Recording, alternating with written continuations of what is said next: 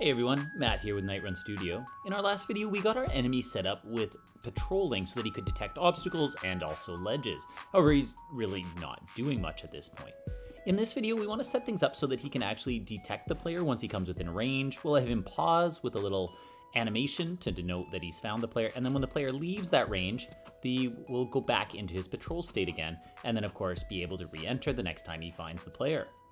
Now we're going to get this all set up this time, but this is also going to reveal a bit of a problem with the traditional way that we're setting this up, which is creating a monster script. You'll notice right here that my patrol state is starting to swell, and at this point we've only got two states in here. We're also starting to get into a problem where I now have to detect whether I'm in player detected state before the movement happens, and vice versa. Now, as we get more states, we do not want to have massive if statements for if player detected, if patrol state, if attacking, if jumping, etc., etc. And so once we finish this, we're going to have need for a better setup. And so the next video, we're going to look at creating a state machine, which can, which will just be a script that decides which state to operate at any given time. That said, we're to save that for the next video. For now, let's get our enemies detecting the player. All right, so before we hop into any of the code, let's get our game actually set up. At the moment, our enemy here just has one child game object, and that's our ledge detection point. We're actually to add a new one here, and I'm to use an exclamation mark. Now, you don't have to have an exclamation mark to sort of telegraph that he's entering a new state, but it's a pretty common convention, and if you want to add an animation of your own at some point, there's room for that as well. I should also note that we will ultimately animate this enemy, and I will add that a couple of videos in once we've got a few different states set up. Now, I've just got this exclamation mark, which is just, well, it's exactly that, a sprite of an exclamation mark. And so I'm just going to grab that and make it a child of my robot. If I go to my position here in the transform and reset everything to zeros, it'll set it over by my robot and I'm just gonna pull it up above his head. All right, essentially the way this is gonna work is I just wanna make a simple animation so that when I turn on this exclamation mark, it grows and also becomes more visible. So the way I'm going to do that is head into my animation here, and we're going to create a new animation. I'm just going to call this one exclamation mark. And so I'm going to just hit record, and I want this to take place over about 30 frames, so about half a second. At the start here, I'm just going to head over to my sprite renderer, where I'm going to actually make it completely transparent. So just move my alpha to zero, and then over here for scale, I actually want it to start at about 0.5 of its size. So it'll be small and invisible. Halfway, so at the 15 frame mark, we're gonna take our color and I'm gonna make it fully opaque, so all the way to 100 on the alpha, and we'll move it up to full size. Now in the last 15 frames, I'm just gonna have mine grow just a little larger to about 1.2. All right, and now if I hit play, we get this nice sense of it growing and becoming more opaque. I'm going to unrecord and I'm actually just going to put it a little higher above his head. All right, with that done, if we take a look in our animator, you'll notice that this is now the default. So all we have to do in the game is turn off this exclamation mark, and then when we turn it on, it will animate growing to full size and then loop through that animation. All right, with that out of the way, I think we're ready to get coding. So we're gonna head into our patrol state. Before we go any further, I do want to do some organization though. At the moment, we are doing all of our obstacle detection here in the update method, and if we now add player detection, our update method starts to get quite crowded. And so I want to separate that out. I'm going to come below both of our update methods here, and we're going to create a new void called check for obstacles. And what I just want to do is grab all of this logic from update, and we'll paste it in there. Now in our update, all we have to do is call check for obstacles, and it will call this method every frame, so it will have the exact same effect. It's just now we get a cleaner looking update, and we can kind of tuck these check methods down below. And in fact, we're going to be adding a new one here, a void check for player method, which we'll get to in just a moment. Before we do that though, and now that we've got some better organization, let's head up to the top here. At the moment, we're going to continue to use this ledge detector transform, which is just an empty object in front of the enemy that we begin our detection from. However, we do need a new layer mask. We're going to look for the ground, look for obstacles. We're also going to look for a player layer. The one other thing we need to add up here at the moment is how far away we want to check for that player. So we've got our raycast distance and obstacle distance. Let's add our player detect distance as well. All right, at this point we can head to update and let's actually call that check for player method. And so essentially at the moment, we will always be looking for obstacles and always looking for the player.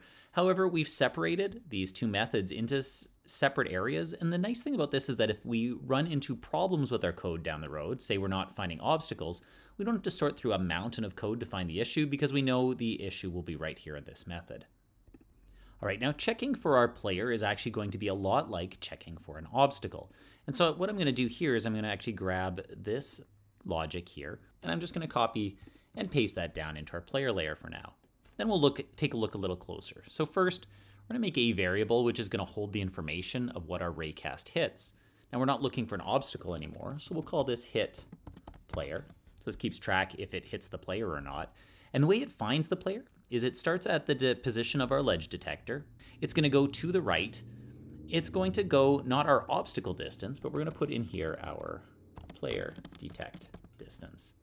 And instead of looking for something in the obstacle layer, it's going to look to see if it hits anything in the player layer. Now, if it does hit something, we're going to need to check. And so down here, first of all, we only need one of these checks because we're only checking for one thing. So essentially, if the hit player and so here we'll just restructure this. So instead of being null, we're going to put in true. And what's going to happen is if our raycast hit player actually finds the player, so if it's true, then something is going to happen. And we're going to have to define that logic. But now we've done our job of checking for the player. Now we actually need to define, well, what happens if we hit the player. And so for that, I'm actually going to create a coroutine. And here I'm going to call this one player detected. So this is what happens if a player is detected.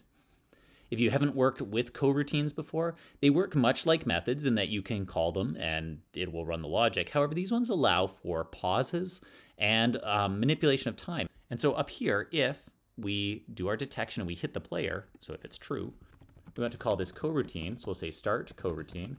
Then in brackets, we put the name of it, player detected. And just like declaring a method, it gets brackets. Now at this point, we're just gonna run a quick check. So I'm just gonna put a debug.log and we're just gonna type in player detected. Now you'll notice that it isn't liking that at the moment, and that's because a IEnumerator needs to return something. Usually we put void in front of a method, which means that it's not going to have any return. It's not trying to solve a problem or find any kind of an answer to something. An IEnumerator, however, needs to return something. We're going to return time here. And that might seem a little weird, but the way we do this is we're going to say yield, which just means stop. And what we're going to do is we're going to return new wait for seconds. If you haven't ever worked with time pauses before, this seems like some weird syntax, but essentially what it does, it satisfies the need of the coroutine to have something returned, and it creates a pause. Now at this point, I'm going to put just, I'm going to hard code in one second in here. And to be honest, that's not going to have much effect for us. We'll detect the player. It will call this coroutine. It'll say player detected, and then it will wait one second before it does anything else. However, this pause is something we're going to need a little bit later, so that's why I'm building it in here, and it will make sense as we go. All right, so just some really quick setup here in Unity. First of all, I want to make sure that my player is actually designated as being on the player layer. So I'm going to go to my layers here, click add layer. I'm just going to create a new one called player. Then just go back to my player and make sure that I actually assign that layer to him. And I don't need to change the children. Then when I go to my robot, I just want to make sure that he knows that the player layer is in fact the player layer.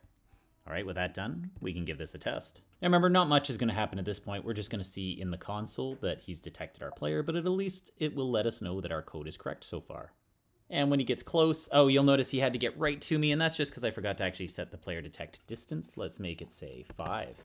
The other thing right now is you'll remember we said that it's detecting to the right, and so it's only looking on his right at the moment. And so when I'm on his left, you'll notice the console's not printing, but when uh, he gets really close, my arm is on his left, so it starts printing. I can now go over here, clear this out, and it's detecting, but over here, nothing. All right, that's actually working, well, more or less as intended, though we've got a little bit of work to do here. All right, so back in our code, there's a couple improvements we're gonna make before we actually put in our player detected logic. So first of all, let's make it so that we can actually see this thing. So what I'm gonna do is come down to the very bottom here, and I'm just gonna create a new method, and we're gonna call this one on draw gizmos. And so specifically, we want to create a gizmo, and we're gonna draw a ray. And this is going to mimic our raycast so that we can actually see where our enemy's doing his detection. So it's going to originate at our ledge detector dot position. And now at the moment, if we were to do like our other where we have vector 2 dot right, we could do that, but then it would only ever go to the right, which is the problem we're already encountering. And so what we're gonna do is add some logic to check whether it should go to the right or the left. You'll remember that we have this facing right Boolean here, which keeps track of our direction. And so what I'm going to do is I'm going to do something called a ternary operator. And so we're going to type facing right, question mark. And then what we'll do is if facing right is true, we want to be right. Otherwise, we'll put this symbol. It will be vector 2 dot left. And we also want to define just how far this is going. And so let's put this into brackets. That's figuring out our direction. But then we want to multiply that by, and I'm going to put in player check or player detect distance. All right, we can close that up. And so that's our first problem fixed. Now, while we're here though, let's also pop up here and just add that ternary operator in here as well. So instead of just going to the right, we'll type in facing right, question mark. If so, vector 2 dot right. And if not, vector 2 dot left. Let's save that and let's just make sure that's working. All right, so first off, you just wanna make sure that your gizmos are actually enabled. You may have them turned off, and that's just this little icon up at the top here. When I click that, it turns on gizmos, so you see my light, my particles, things like that showing up. Now I'm just gonna go to my player detect distance. I want it to detect up to five meters, and you look, we see now this goes five units long. We can see his detection range. Now when I hit play, and this won't show up in game view, so I'm just gonna click on scene view here, you'll see that when he turns, the ray turns with him. And at this point, I don't think he'll quite reach my player, and so he'll just keep on his merry way. All right, we're almost done. We just actually want to get that exclamation mark playing, and we're also going to make our enemy halt. So he's going to like pause and show that he's detected the player. So let's scroll back up to the top here. And to begin, we're just going to add a couple of new variables. So first off, I'm just going to create another public float. This one will be detection pause time. We're also going to make a public reference here, and this will be a public game object reference. And this is going to be to our alert, so in my case, the exclamation mark, so that we can turn it on and off when we want it. Finally, we're just going to make a bool, and I'm actually just going to put it up here actually with my other bool, so we'll make a private bool, and this one is going to be player detected. This will let us keep track of whether or not the player is currently detected or not, so that we can stop our movement. So first off, let's move down to our fixed update here. This is, remember, where all of our movement is happening. We want to make it so that if player detected, and then we can just put all of this into brackets. And so essentially, this makes it so that he will only do his movement if the player is not detected. Um, so if he's not detecting the player, he'll do his normal movement. If the player is detected, then this will get canceled and he will just not have any velocity added. Now, there's one problem though, because he's still going to have his momentum. So he will have been moving in a direction, and he's going to continue to move when he detects the player. And if there's no friction, he would move indefinitely thanks to Newton's laws. So let's take a quick move down here. And what we want to do is, if the player has been detected, one of the things we want to do is we want to take the rigid body, which remember we called RB, that's our variable, dot velocity, is equal to, and we're just going to do vector 2 dot 0. So this will immediately halt his movement once he detects the player.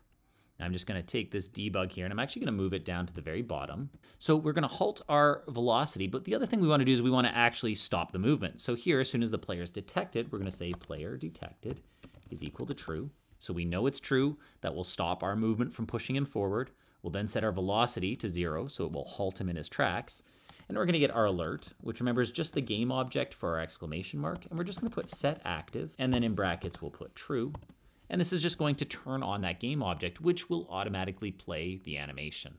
We're now just going to change this as instead of saying player detected, he will perform all of his player detection stuff. He'll stop, the alert will pop up, and let's just down here type in the word charge as that will be our next state that we add will be a charge and attack state.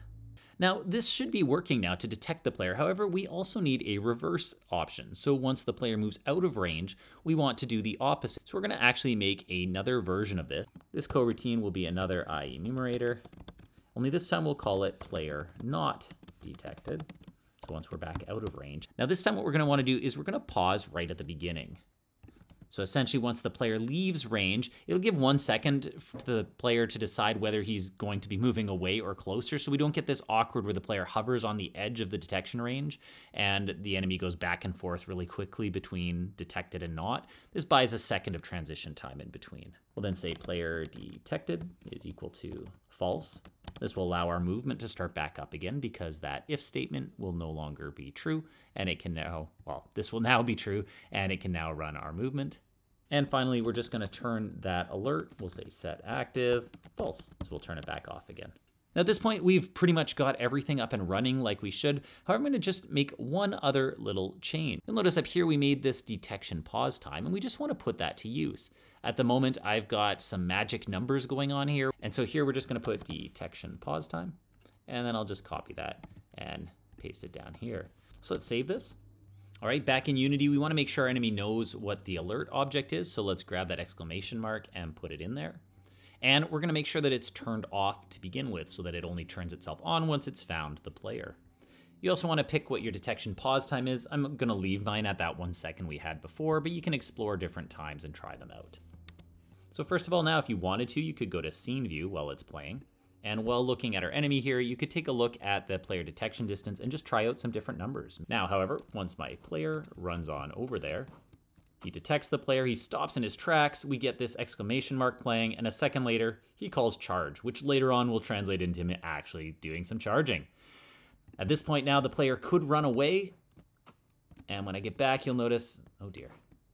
All right, so really quickly here, the um, thing I was just missing is right now we have this check for player, which if it our raycast hits the player, it turns on player detected. However, we forgot to add the else statement, so if it doesn't find the player, in which case we're going to go start coroutine, player not detected.